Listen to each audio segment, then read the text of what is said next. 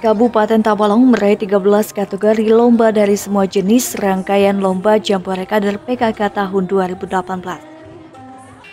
Prestasi tersebut di antaranya juara satu parade khas daerah atau yel-yel, juara satu dasa wisma, juara dua lomba masak non beras berbahan pangan lokal, juara dua Ifates, juara dua lomba pemanfaatan halaman asli teratur indah dan nyaman, pemberdayaan serta kesejahteraan keluarga.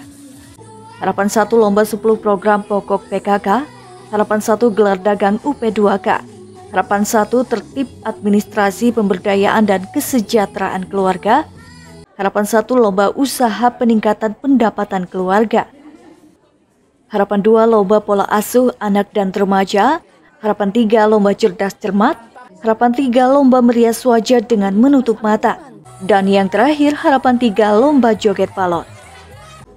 Dari 13 kategori lomba tersebut, Tabalong terpilih mewakili Provinsi Kalimantan Selatan pada lomba parade khas daerah tingkat nasional pada bulan Oktober mendatang.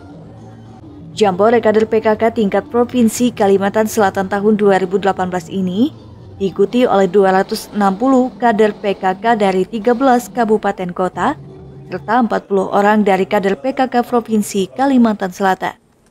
Purnama Sari, TV Tabalong melaporkan.